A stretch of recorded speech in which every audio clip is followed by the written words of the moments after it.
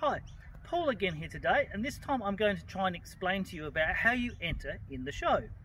So, a week before the show, the show office is actually open every day to take entries. The show office is the Homing Pigeon Club of Loxton as well, so we share the same premises.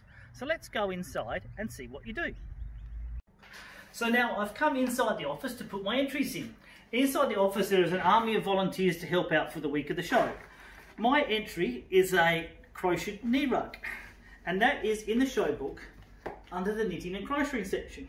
And it's 29 so I have got the entry form out of the show book filled it out and brought it in here for the girls to, to put in and collate.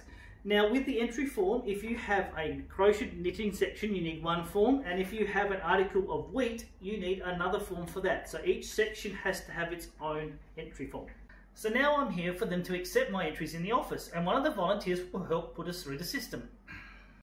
So now we're inside the office to put our entries in. What happens when we first come into the office with our entry form? Okay, so when you first come in with your entry form, usually what I firstly do is check your entry form that it's all filled out correctly and then you've got one section per page um, recorded on each sheet.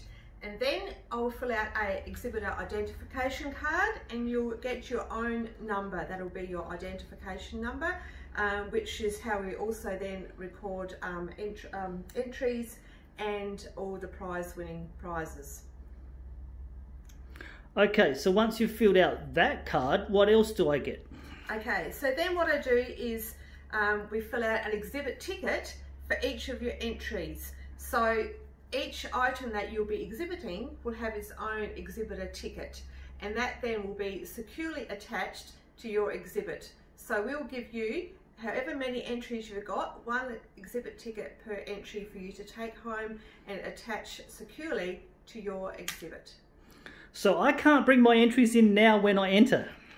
No, you will need to um, bring it in on Saturday night um, at the allotted time in the show book um, and um, bring it in then. Or Sunday morning as well, actually, yes you can.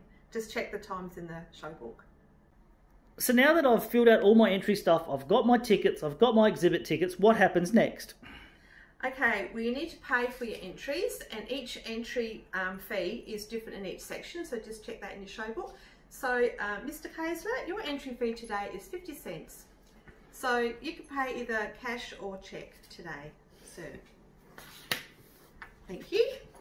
Now I will write out a receipt and give you that receipt for your payment. So is there any other way that I can enter in the show? Yes, if you can't come into the show office to bring your entry form in, you can um, go onto the website and print off an entry form and complete it and then scan it and then email it to us here at the office and you can then pay online um, with a direct debit for your entry fees.